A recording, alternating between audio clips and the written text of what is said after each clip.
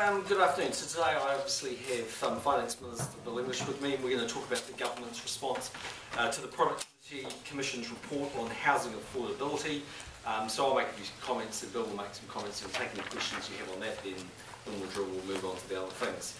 Uh, the government is today announcing that it will adopt almost all of the Productivity Commission's recommendations to improve housing affordability. You will remember that the government asked the Commission to conduct an inquiry into housing affordability, partly in response to growing concern that getting on the first rung of the home ownership ladder was proving too high a stretch for far too many New Zealanders. Affordability is also an important issue for the wider economy. The direction we are announcing today is part of the government's commitment to build a more competitive economy based on more savings, productive investments and exports, with less spending on debt and housing. These are deep-seated and complex uh, reasons why New Zealand's housing market is not as efficient as it could be. Uh, because of that, there will be no quick fixes. Even if there were, I don't think New Zealanders who own their own homes would thank us if we took actions overnight which devalued their most valuable asset. But it is important for New Zealand households and communities as well as for the wider economy that we don't simply say we can't do anything about this. We can do something, but it will be slow and complex work. In saying that, I would note one important point. This is not a job for central government alone. Central government does not control most of the levers to do with housing. Local government has a critical role to play here. That needs to be acknowledged so that we can get together, make progress on this very vital issue. Our advice is that there are things we can do to make houses more affordable and our intention is to get on with it. So I'll hand over now to Bill, um, then we'll take any questions and we'll go.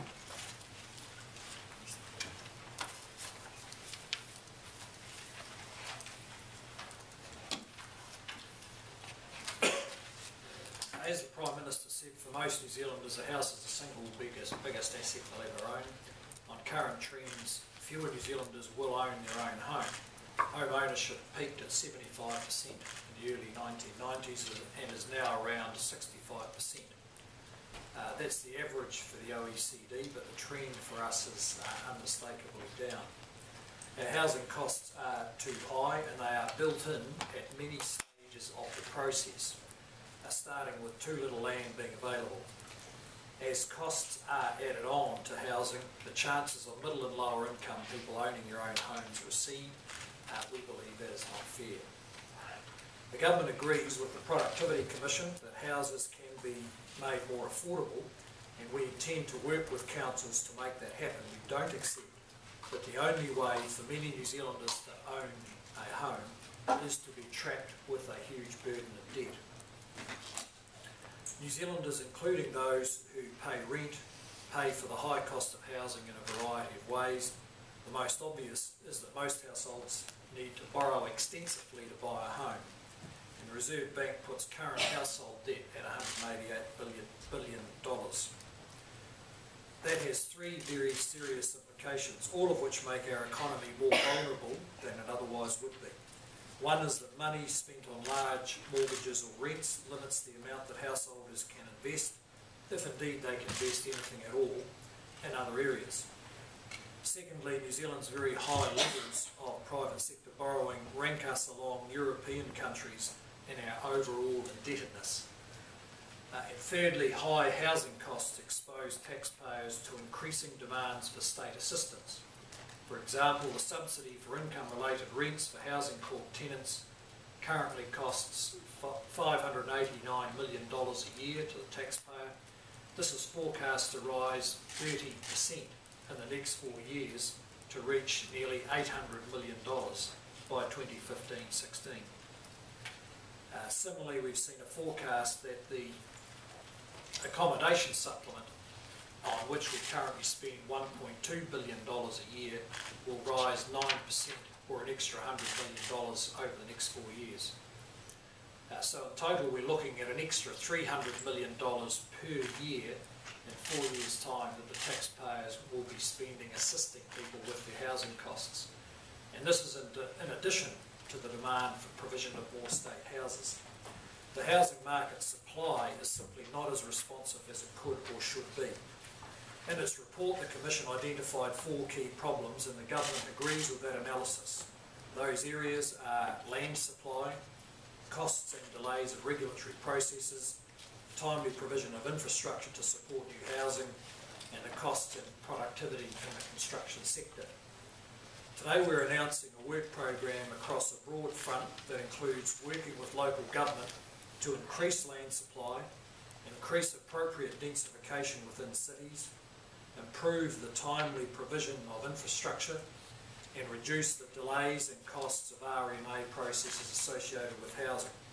Taken together, over time, we expect this work will restrain house prices in the medium term without unreasonably compromising other objectives such as a better environment or local decision making.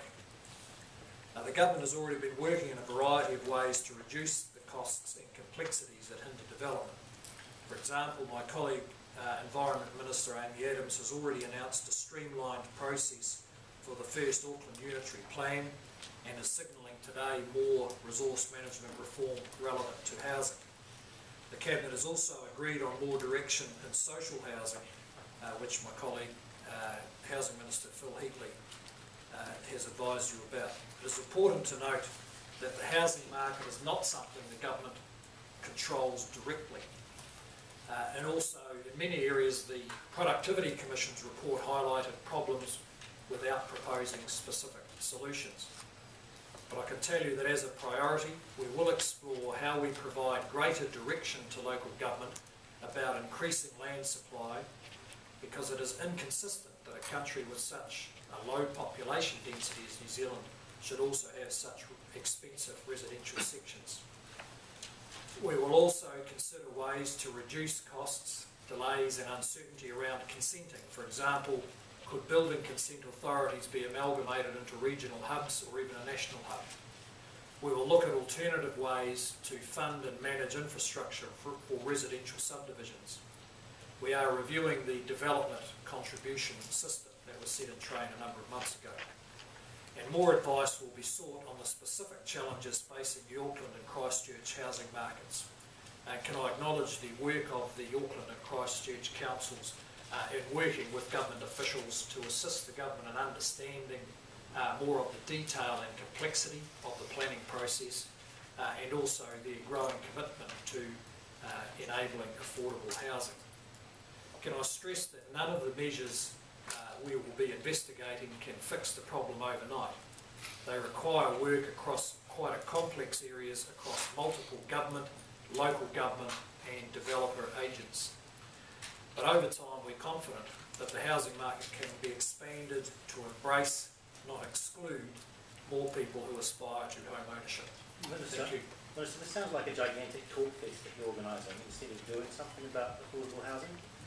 Did you consider either low interest loans or options of land where where we, we where land, the land developers didn't take such great profits, super profits out of out of subdivisions? Well, we, we're not looking at low interest loans. We're trying to deal with the problem much earlier in the pipeline. Why And not? that is with I mean, home start loans obviously have a great tradition in New Zealand, three percent loans. Even when I was a kid, they still had three percent loans. Um, yeah, well, Three percent loans at, at the moment, uh, that'd be more expensive than mortgage rates in America and England. Yeah, the five percent loan. But the, the risk with those measures, including rental subsidies, on which we currently spend close to two billion dollars, is that it's masking an underlying problem. We, we agree with the Productivity Commission who diagnosed a problem right at the start of the pipeline, and that is that the supply of housing is not responsive to the demand.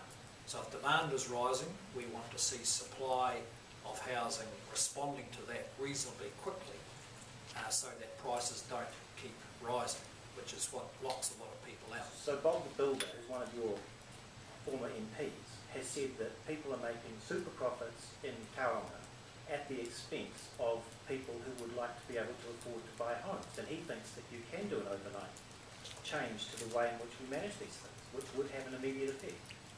Well, we're keen to hear what that, what that overnight change would be. I mean, we, we, we want to He work, proposed it, he, he submitted on it. uh, well, we don't necessarily agree with all of the submission, uh, but look, we, we've got to work with councils through this because they are the um, current decision makers. We uh, want to be clear with councils that the government uh, is keen to see plans that focus on, on making housing affordable. Uh, so, for instance, we've been in detailed discussions with the Auckland Council. Uh, you may be aware they've announced they're going to publish an affordable housing strategy, which uh, we believe is a very big step forward. In the case of Christchurch, we've got thousands of cashed up buyers, uh, we need we want to work closely with the council there to ensure that Well, Um, Christ, this, this is another great example. In Christchurch, it's been repeatedly suggested to you that the government should open up large tracts of land and create essentially subsidised sections without allowing the existing landowners and the decision-making authorities to essentially grant lottery millionaires tickets to a bunch of people. I mean, who presumably will donate to the National Party. Uh, Well, actually, they don't like us doing this sort of stuff. Well, no, Uh, people that are doing that don't. no. They don't like So, look, in Christchurch, we've got a bit of a real-time experiment. So, you may be aware, uh, the Ministry for Earthquake Recovery is currently being taken to court by developers, uh, partly because he has set, set off exactly down that path, and that is to make a much, much more land available so that developers can't strangle the supply and therefore profit more than they should. On the other hand, development has to be profitable or it just doesn't happen. And we need a better understanding between councils and developers about what kind of rules need to be in place to ensure that it's worthwhile building particularly lower value houses. One of the messages in the last few months from the developer community is that, for instance, in Auckland, you can't really afford to build a house that's worth less than six hundred thousand uh, because the way the planning rules work, you can't make any money on something of lower value. This is just another example of the complexity of the issue. So we need to get the development community, uh, the councils and government and banks uh, approaching this with a view to maximising affordable housing rather than just pursuing their own interest. And the government's signalling pretty clearly that's how we expect them to behave. We want to develop with them the tools to ensure that we can achieve it. You, What you, you talk about restraining prices, uh, Mr English. What, when you say restraining prices, do you mean that you want to sort of slow the steady growth, or you want to pull them back? I mean, what's your aim? You have a target in mind? We don't have a particular target because we've still yet to establish, uh, you know, which tools are going to be effective. Uh, but, you know, we've got a, our levels of, our house prices rose very rapidly. Uh, they've stabilised. That looks to be, in, in real terms, are actually dropping back a bit as, uh, because as house prices stabilise. Uh, and we, we can't see any measures that are going to have a dramatic impact on the housing market. But while prices are stable, there's an opportunity for us to change the supply side, change the supply processes so that we don't go into another big house price cycle. And what's Len Brown said you about that supply side? Well, we've had very constructive discussions with Auckland City. I think they, they, they, um, he, he's certainly committed to uh, the idea that we need a broader supply of housing, particularly for middle and low income New Zealanders, so that they can access uh, home ownership. Uh, I think there's, a, there's still a lot of work to do to understand exactly how the detail of the planning process has, has a big impact on, uh, on how new housing comes to the market. Know, some very low level detailed decisions about building heights, for instance, can have quite a big impact right across Auckland about how much dense, uh, moderate density housing you can build. Uh, and we all need to understand those rules so that we can then change them. What guarantees can be made that speeding up the consenting process won't lead to quality control problems down the track? Well, you have to do both things at once. So Maurice Williamson's been doing a very thorough job of the re-regulation of the building industry uh, and now trying to standardise that regulation so we can lower costs. So that work's well underway and it gives us the confidence that we can uh, move, take the step which Amy Adams is announcing today, that in the next RMA bill, uh, medium-sized consents will have a time limit of six months and medium-sized consents look like, uh, it's still a bit unclear, but look like it would cover any subdivision over 20 or 30 houses. So you're confident that speed of process wouldn't compromise build quality? Uh, yes, I am confident. I mean, at the moment, the slowness of the process is le- leaving homeowners having to face large costs that are built in by banks and developers to cover delays. If we can reduce those delays, we can reduce the cost of housing, the same standard of housing, uh, to the home buyer. It seems like a lot of the big issues are going to be tackled by an ongoing work program for reform. I mean, when can we expect to see that happen? Because, you know, you talk about planning systems, planning practices, unlocking development capacities, all, all to be tackled by an ongoing program. When's that going to be? Well, so, some of that is underway.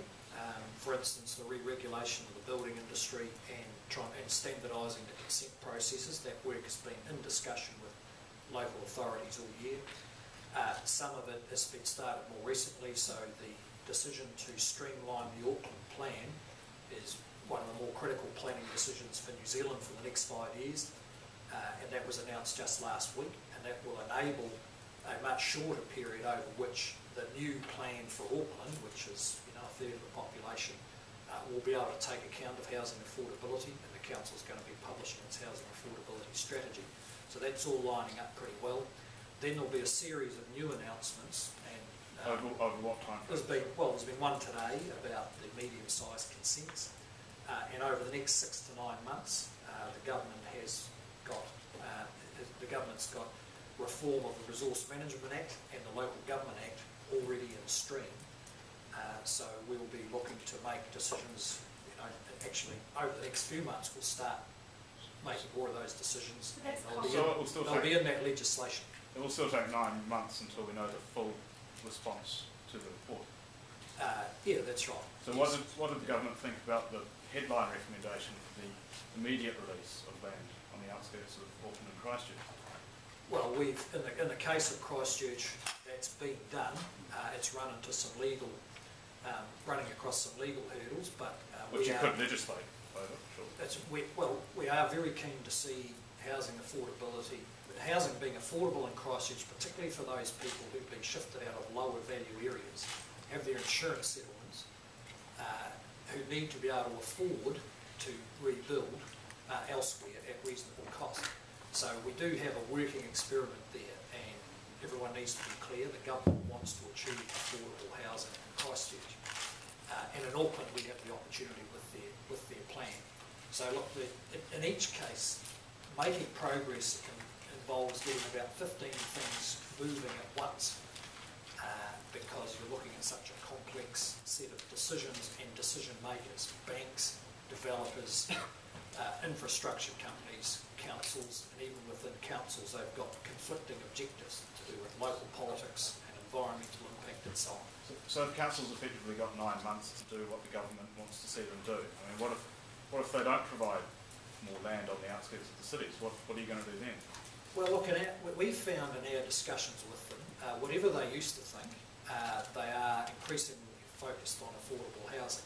If they were to ignore the government's um, objectives, then we'd be looking to exert a bit more control over their planning process. Before we say over the last 10 years, they have been ignoring housing affordability objectives, so why not just legislate to, to make them or, or put it in the hands of central government, or take it out of their hands? Because you're leaving it in their hands, and they're part of, they have been part of the problem. Uh, we prefer to work with them if possible because they've got a local mandate uh, and a much better understanding of their local their local area. But we, we want to assist them with that. So, for instance, we're going to do a detailed suburb by suburb study in Auckland, to which no one has actually done before, uh, to establish exactly what's happening and at a detailed level what impact the planning decisions are having on supply suburb by suburb because at the moment there's a lot of generalisations about it. Um, so that's the kind of constructive way we'd like to work with councils. But they should be clear today that the government is determined to see housing affordability improve. Uh, that hasn't been a focus of their plans in the past. Um, we want to see it as a focus of their plans in the future. So What if about, what about, what about developers, because it's still in developers' commercial interest to hold land back so they can maximise profit. What will you do to actually force them to? Well, that, that is um, that, that's another uh, reasonable issue. Uh, to some extent, it's a matter of create. If you create enough opportunities, they have to develop. Because if they hold back, someone else is going to build, It's just like any other market. There's more and more supply, uh, you, you know, they can't sit on their sections. Um, there's also been propositions from some councils about putting covenants on them about the release of land. Uh, we're going to get to test, test some of these theories in Christchurch um, because they would, the, the idea of expanding supply fairly rapidly is actually not one that councils have used, so people don't really understand all the implications of it, nor do we. Uh, for instance, you could make a whole lot of sections available, but um, if the council says we can't afford any of the infrastructure, well, no one can build a house. So you've got to solve the avail- problem of availability of land, uh, including the availability of op- opportunities for moderate density within cities, and you've got to coordinate that with the infrastructure. Uh, and councils, to be fair to them, have, you know, there's big costs for them. So that's why we've got to work with them about how, how, um, how you can bring these things together more efficiently. Just so you we're clear, um, if councils don't move to help you in terms of freeing up land for, for affordable hou- houses, you will legislate to, um, compel them to do that? Well, I would, look, all I'm saying is uh, that from the, I think there's, from the government's point of view, affordable housing is really important. Uh, it impacts directly on the government and on the economy, and we'd like to work with them so that the larger interest is clear to them. And uh, we'd also make it pretty clear that, I think on behalf of the community actually, that we, if- if, we can make housing more affordable just by changing the rules, then why wouldn't you? And you'd have less New Zealand families worried about whether their offspring are going to be Have able to been afford a changing the rules you're talking about local government? Uh, yes, we would expect to see changes in the Resource Management Act and the Local Government Act that, that, uh, you know, well-informed changes that will promote more affordable housing. So Are you looking at any sort of uh, uh, cap on, on what um, councils can levy developers?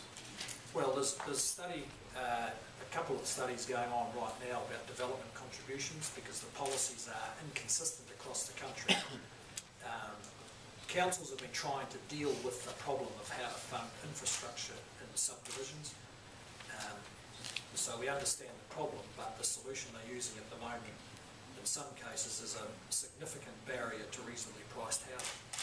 Uh, so we'll get the results of those um, reviews uh, pretty soon, uh, both development contributions themselves and infrastructure and local government. Those things were set up about six months ago, and they'll be incorporated into the work program over the next six months, or into the decisions over the next six months. Can we anticipate an SOP on the local government bill which is being considered? I mean, are we expecting legislative changes to be made as a result of this policy process that you're starting? Well, there will be legislative changes, but I couldn't comment in detail on whether it'll be that particular amendment bill that's in select committee right now. I might be a bit late for that, but um, we'll see Have you, legislative have you, have you considered reaching across the, the House to your opposition? Because they obviously have strong views on this too and are- are very, very keen to see progress made in affordable housing.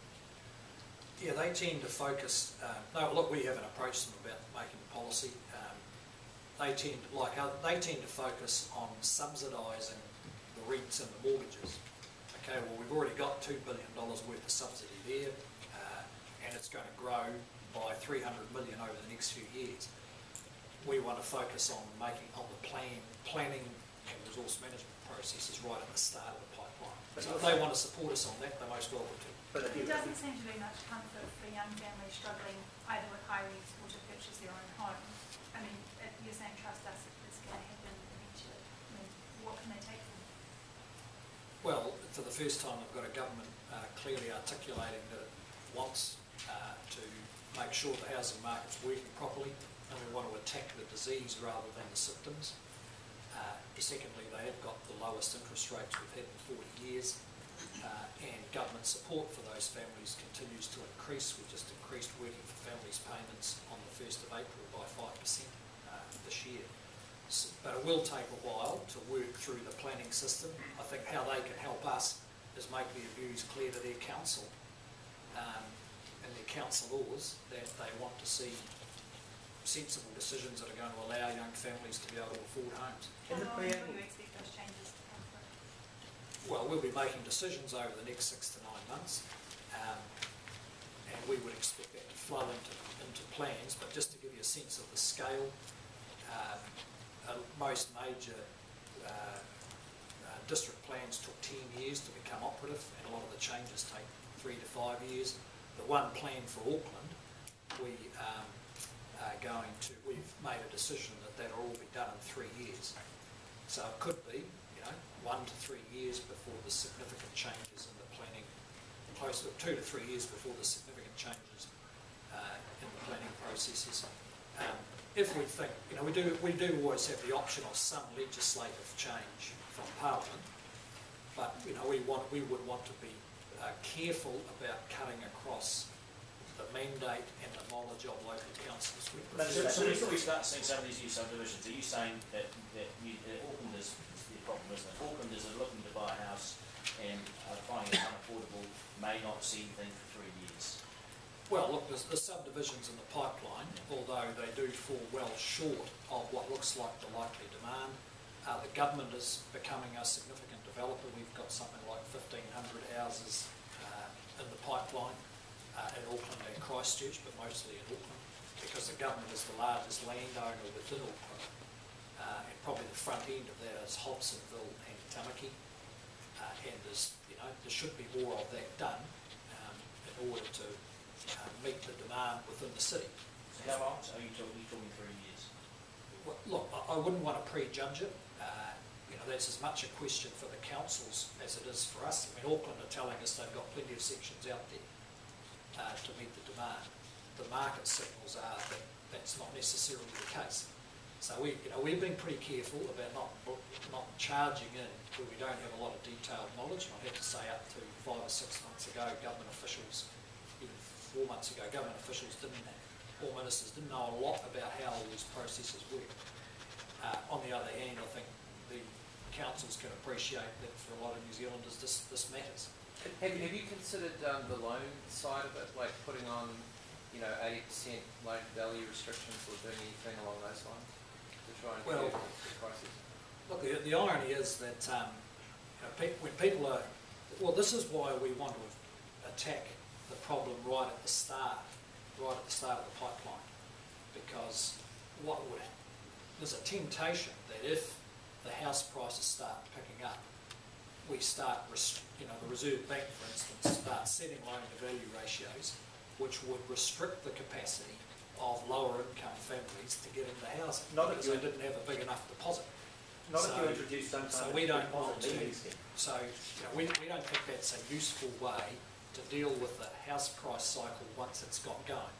We'd rather get it now while prices are relatively stable and deal with the supply issues so that we don't get such a big price cycle later. Have you had, have you had any advice on the productivity risk? hi- commission highlighted about Oh, sorry? what about the issue the productivity commission highlighted about the building industry itself, its low productivity, its cottage industry structure? Uh, is there anything you can do about that? Yeah, there, there are, there's a number of, quite a lot of action already in train. One is um, standardising the consenting processes because the, the industry tells us one reason we have a lot of mostly non-standard houses is you've got 78 local bodies with different rules. Uh, and Maurice Williamson has done, um, put a lot of work into improving the building consent, uh, the building consent process. The industry itself has set up its own alliance to look at its productivity problems. Um, and they've gone along with, for instance, upgrading the qualifications and skills of their workforce as one way of improving, uh, improving productivity. Uh, we're also interested in looking at the cost structure of the industry itself. Um, and so one of the issues we'll be considering over the next few months is what's called a market level study uh, of the construction supply industry. Would you expect that we'll look at uh, things including Fletcher's dominance of the construction and building materials market? I think if you look at the building materials markets, it's pretty hard not to look at Fletcher's. So why not get the Commerce Commission to look do that rather than Uh, well, the Commerce Commission has dealt with these issues at different stages um, and clearly come to, to a view that from their point of view, there isn't, there isn't a problem. We wouldn't want to, you know, prejudge that there's a problem, but look, it's, it gets raised by everybody and is part of the comprehensive approach to housing affordability.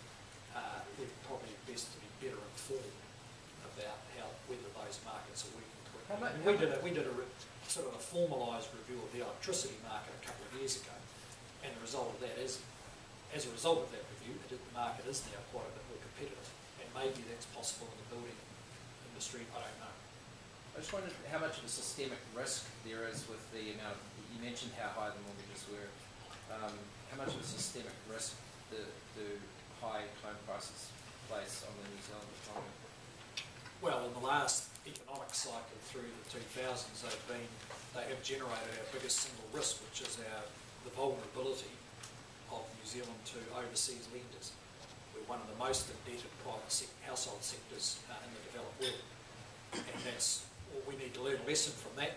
Um, and while, so that's why now, while we have the opportunity in a relatively calm market, uh, we want to attack some of these issues uh, because New Zealanders are highly motivated about home ownership and they will commit to quite large amounts of debt if that's what it takes.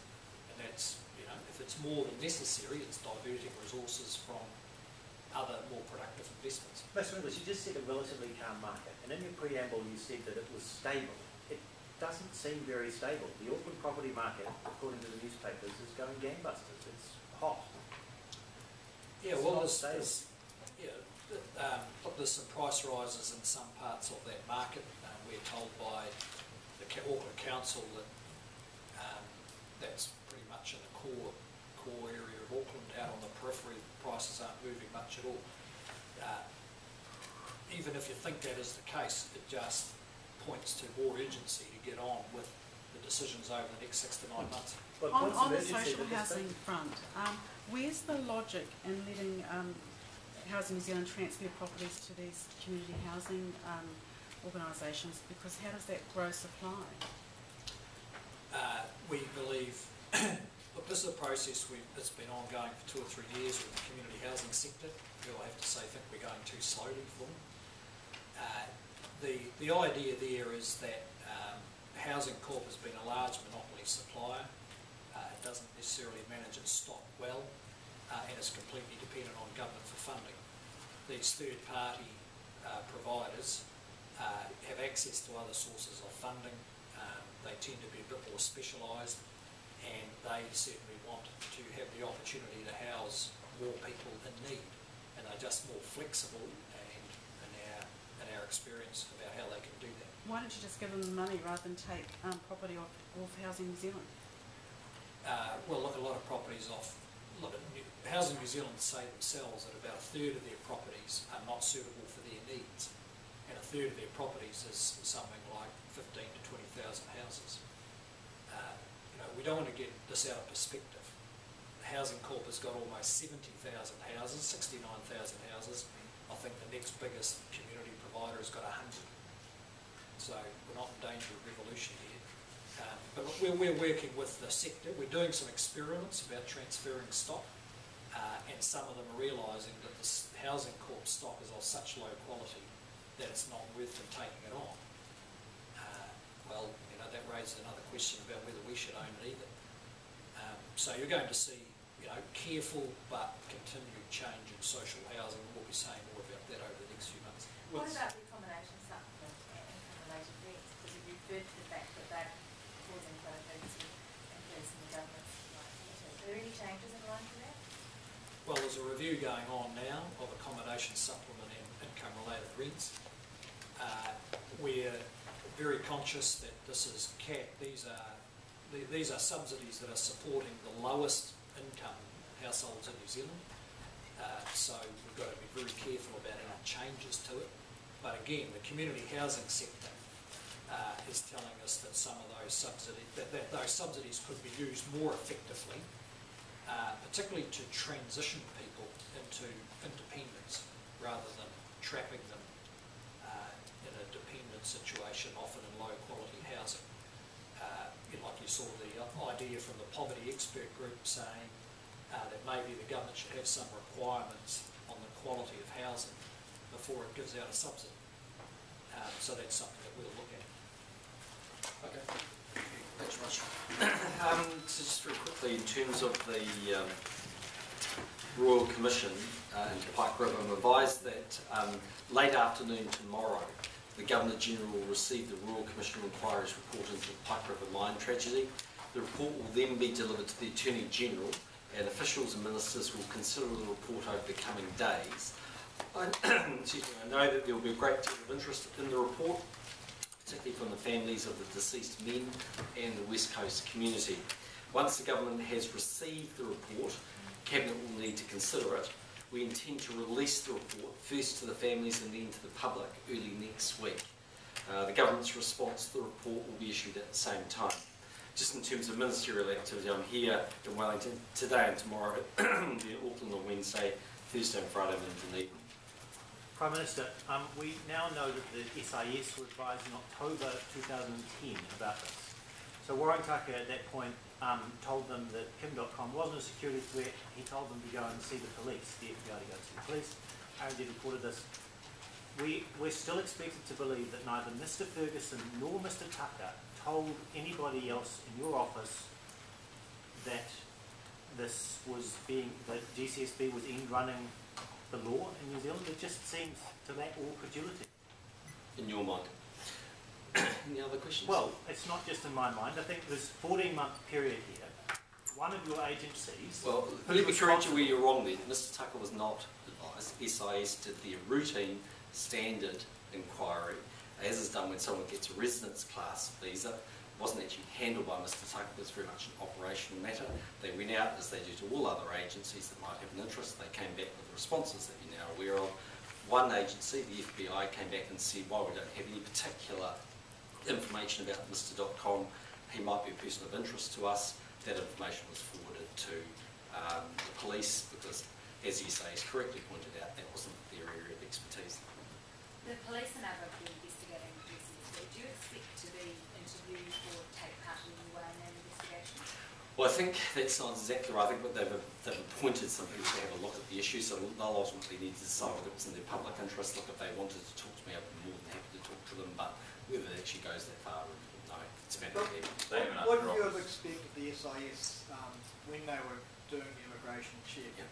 during which the FBI said they wanted to conduct a joint investigation with the police? Yeah. Um, and the FBI, uh, sorry, the SIS passed that on to the police. They're a And then- mailbox, Yeah, yeah. and then about two weeks later though, then emailed the immigration service to say they had no security concerns about Mr Dotcom. Wouldn't it have made sense though for them to have raised with immigration, but by the way, the FBI are investigating? I mean, that seems, Look, I. I think it's one of their standard procedures. They do this all the time. They do about three or four thousand a year.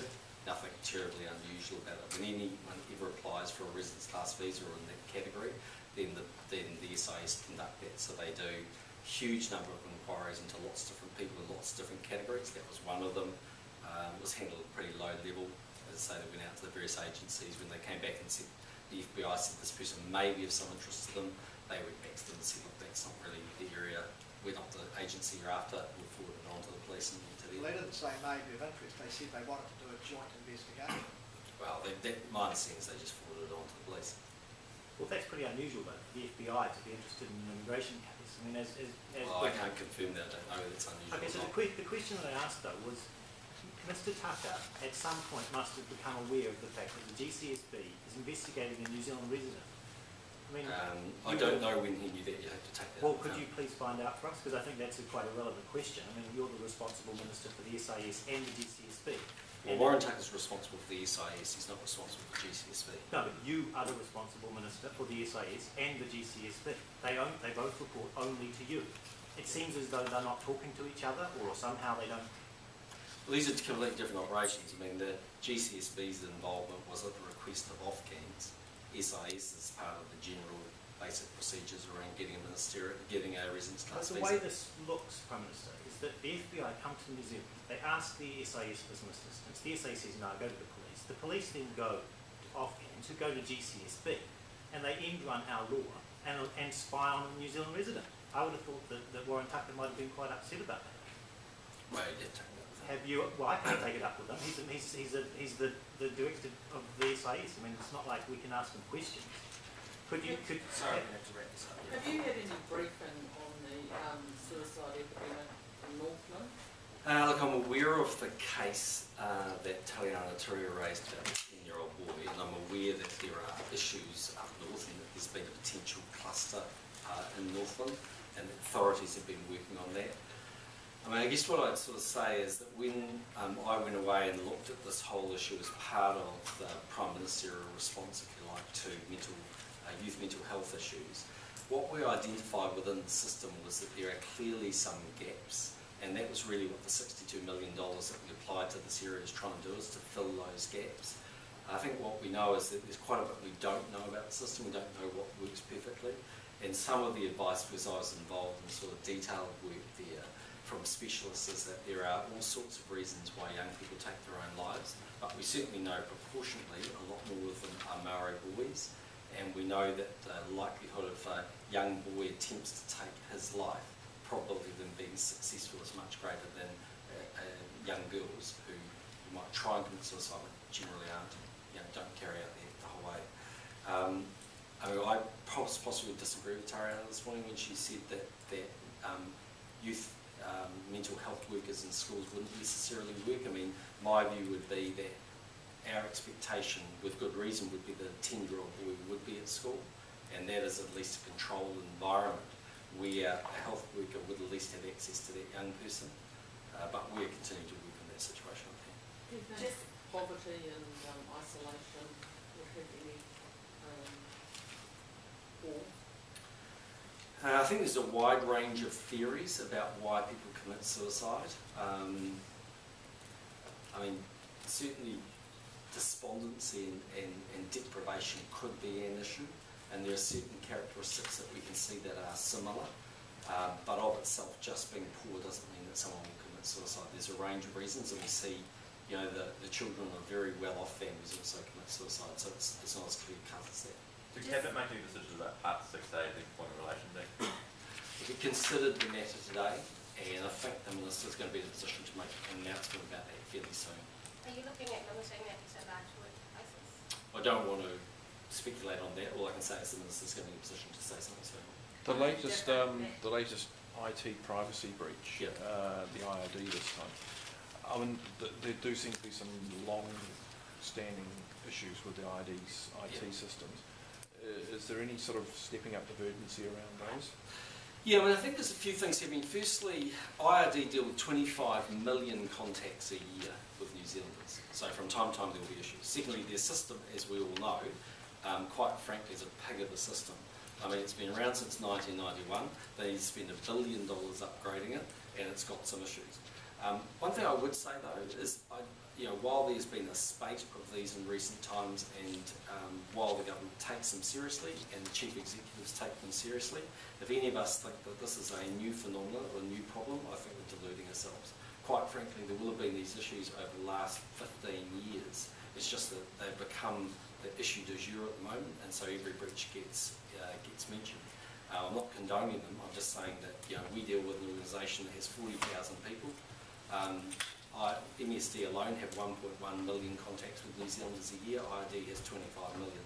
There will be times where through human error they make a mistake, but the government's investing heavily in its systems, and it's certainly working hard to try and improve the level of service it provides. On a different note, Prime Minister, and COSAC are doing a story tonight about the um, French ministers who are having to go to anti-sexism classes. Oh, really? Do you think it's something um, that we need to look at here for some of our MPs or some of our senior um, people in the business world? Uh, are we sexist as a bunch of New Zealanders? I don't think so as a general rule. I mean, there are probably some isolated comments from time to time you can pick out and point to, which might indicate um, sort of sexist behaviour. But I think if you look at New Zealand for the most part, and we've got a very proud tradition of um, gender equality. I mean, we're the first country that gave women the vote. We've had, you know, a woman prime minister before many other countries, including the United States. We've had women president here. Um, we've had women chief justice running our top companies, etc., etc. So, yeah, I mean, there's there is certainly uh, a you know, improvement to be done. I mean, if I still look at the amount of appointments of women to private sector boards, for instance, it's very low, and even with government boards, it's less than 50%, but improving. So there's some work to be done, but are we a sex- sexist bunch? I tend to think not. Just on the Doha Mall fire, um, Martin Weekes is Yep. again asking if you to get involved. Is there anything we can do to combat these Well, it's before the courts at the moment, so that matter is um, something that I wouldn't intervene even if it was in New Zealand. I'm not, I'm not ruling out intervening, but that really is the last card for me to play, not the first card for me to play. I still think it's best handled by the Minister of Foreign Affairs. He's very close to the issue. I say, it's before the courts. If all other angles are exhausted, um, then it's something I'll turn my mind to and see whether I can add some value. But if I play that card now, I'm not sure it'll actually help us to works. Thank you.